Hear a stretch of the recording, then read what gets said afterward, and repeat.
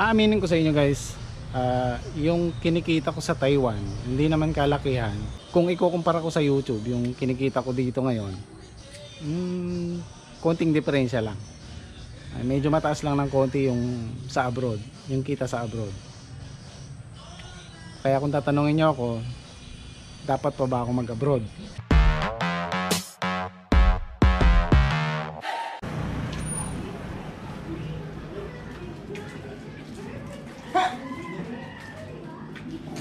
Good morning, Tajao! Taas ng camera. Nakagising ko lang. Nag-iisip ako ng may uulam eh. Ano bang sarap na iluto pagka gantong maulan?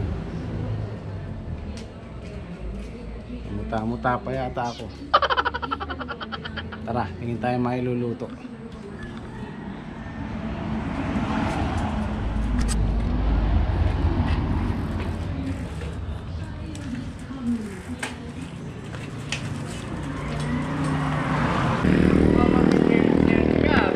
Ha? Selfie ka. Hin- Hindi mo ako kilala. Hindi, nag ano ako, nagbablog ako. Ano Makit sa YouTube, makita mo sa YouTube to mamaya. Ah, Ano, ilang cc to? Ah, 150. oo. Ang laki pala ng ano niya, no, mga niya. Saan ba biyahe mo? Dito, wag lang. Kabiyaw hanggang Rayat.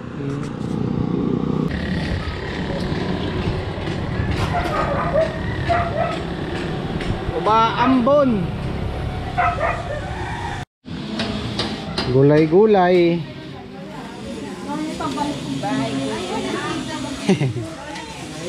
Para healthy. Chapsuy na lang. Mm. Traffic. Wala naman traffic eh. Saka natin dagdagan ng pritong galunggong. Yan.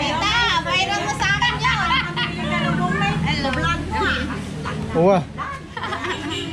Hindi pa yan ba yung pang kinain mo? Sa ano? Manal Bea. Nanonood daw siya ng vlog. 61 niya, Brad. 60 na lang. oh, sige.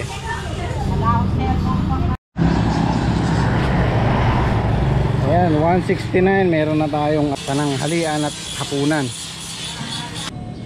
Pinisin muna natin yung isda.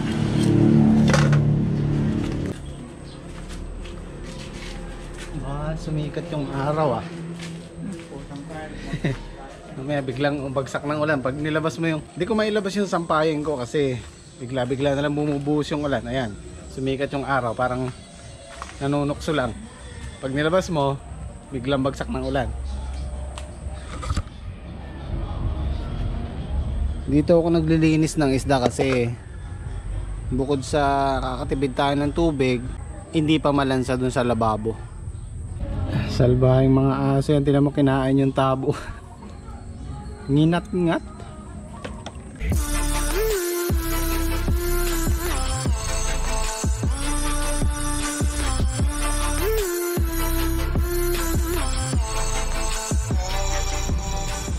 Yun oh. Tapos yung bituka, pwede yan pakain sa aso, ulam nila. Walang tapon, di ba? Almusal muna tayo ng oatmeal para healthy. Puro healthy ah.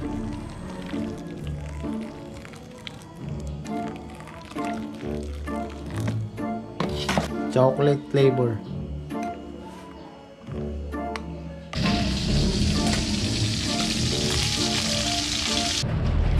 Yun oh.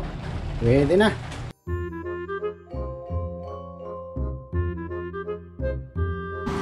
Kabanatuan pa? Sir, galing yung dineliver ko po, galing ng Manila, tapos dineliver po sa amin Ah. kahapon sa Cabanatuan. Kami naman po nag-deliver dito sa mga business. Okay, sige. Salamat. Salamat po. Ano kaya itong in-order niya na to? Natutong mag-order ng mag-order sa Shopee ah. Anong isang araw meron din dumating na ganito sa Shopee din. Jacket naman in-order niya. Kaso ang problema, ako nagbabayad. Utak ng bata na to ah. Para dun sa mga OFW na matatapos na yung kontrata. Meron ako isang tanong sa inyo. Anong plano niyo pag-uwi? Kasi ganyan din ako noon eh. May plano ko. Plano ko pang mag-abroad ulit. Or mag-business. Kaso, kailangan ng kapital. Kailangan ng puhunan. Yun ang mahirap. 'di ba? Kaya kailangan bago tayo umuwi, meron tayong plano. Buti na lang, naisipan ko mag-vlog. Kaya malaking tulong ito sa akin.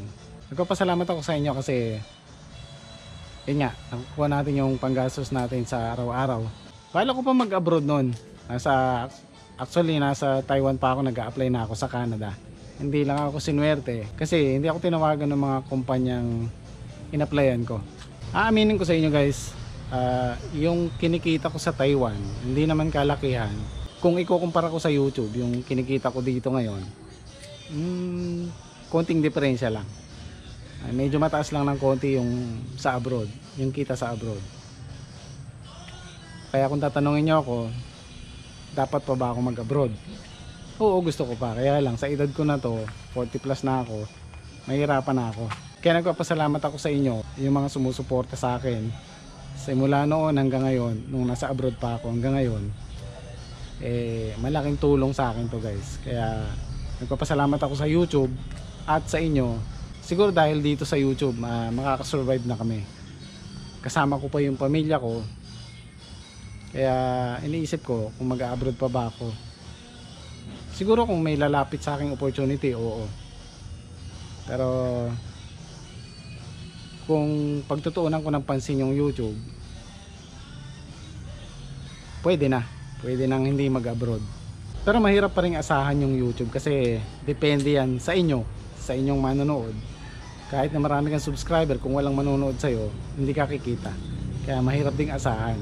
Pero kung aabot tayo ng 50,000 subscriber o 100,000 subscriber, pwede na natin gawing hanap buhay to sa YouTube.